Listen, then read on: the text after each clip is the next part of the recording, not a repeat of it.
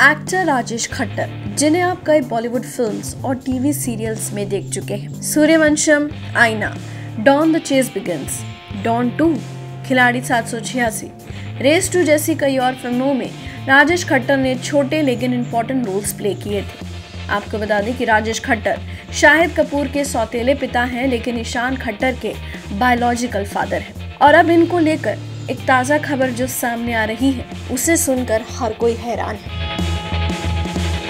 दरअसल शाहिद के सौतेले पिता राजेश खट्टर लॉकडाउन में पैसों के मोहताज हो गए हैं। जी हाँ, आपको बता दें, हाल ही में ईशान खट्टर की सौतेली माँ और एक्ट्रेस वंदना सजनानी ने अपनी फाइनेंशियल सिचुएशन के बारे में खुलासा किया। हाल ही में वंदना ने एक न्यूज़ वेबसाइट के साथ खास बातचीत की। और इस बातचीत में वंदना ने बताया कि बीते एक साल से अब तक उनका समय बेहद खराब गुजरा है।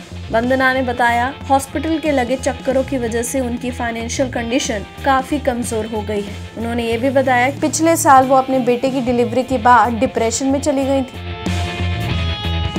द क्विंट से बात करते हुए वंदना ने कहा, पिछली बार मैं अस्पताल में थी, मुझे वास्तव में नहीं पता था कि बाहर क्या हो रहा था। पिछले साल मई में मुझे पोस्टमार्टम डिप्रेशन हुआ था, जब लॉकडाउन अपने चरम पर था।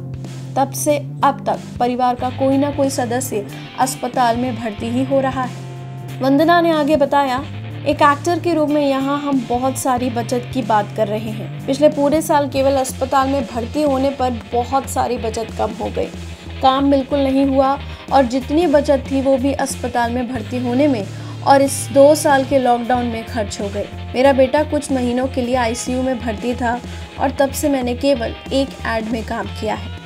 आगे बात करते हुए वंदना ने बताया, इस बार बहुत धक्का लगा है, हमने बहुत दुख सहा है। मेरे पति और ससुर दोनों अस्पताल में भर्ती थे। आपको बता दें कि अप्रैल के महीने में राजेश खट्टर और उनके पिता दोनों ही कोरोना से इन्फेक्टेड हो गए थे। कुछ दिनों तक चले इलाज के बाद राजेश तो ठीक हो गए, लेकिन उनके पिता कोरोना को मात नहीं दे पाए और उनका निधन हो गया। पिता के निधन के बाद राजेश अस्पताल से एंबुलेंस में उन्हें मुखाग्नि देने पहुँचे थे। खैर, आपको बता दें कि एक्टर राजेश खट्टर ने वंदना से पहले एक्ट्रेस नीलिमा अजीम के साथ शादी की थी। दोनों का एक बेटा है, जिसका नाम है ईशान खट्टर। लेकिन राजेश और वंदना की एक संतान हाल ही में पैदा हुई थी।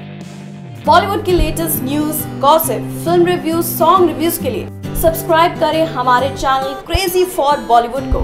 And yes don't forget to press the bell icon ताकि हमारे चैनल पे आई कोई भी नई इन्फॉर्मेशन आप बिल्कुल भी मिस ना कर पाए।